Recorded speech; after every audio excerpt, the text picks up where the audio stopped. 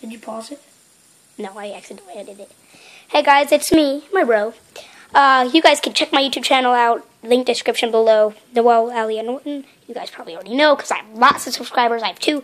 And Nathan here, if you guys don't have a fidget spinner, which is like impossible because if you get on Wish, they have it for like free, but you have to pay 98 cents for shipping. So Nathan, can you show us the tutorial here? To make a Lego fidget spinner? Oh yes. Here is a rainbow Lego fidget spinner that I already built, but I just no, Catherine built it. Remember? Yeah, Catherine built it, but it's not hers. Yeah, well, she built it, so it's kind of hers. No, it's not. Fine. Legos are mine. That's mine. Okay. Can I hold the fidget now? Okay, you can hold it. That is the that is the second place fidget because the diamond and the, what's the third because the diamond and the ruby are the no ruby is first. So guys, look at this shining out of here.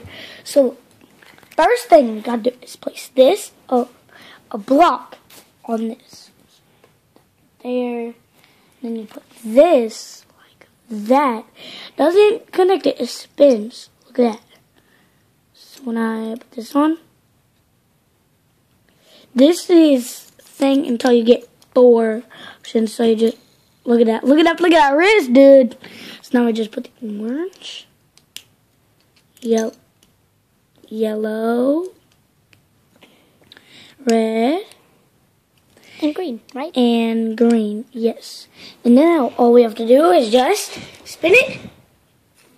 And there you have a Lego rainbow fidget spinner. We will be making an intro for my YouTube channel. Link down in the description if you guys want support. It'll be the best quality and stuff. So hope you guys subscribe to Katie Beecroft for more videos. Mm-hmm.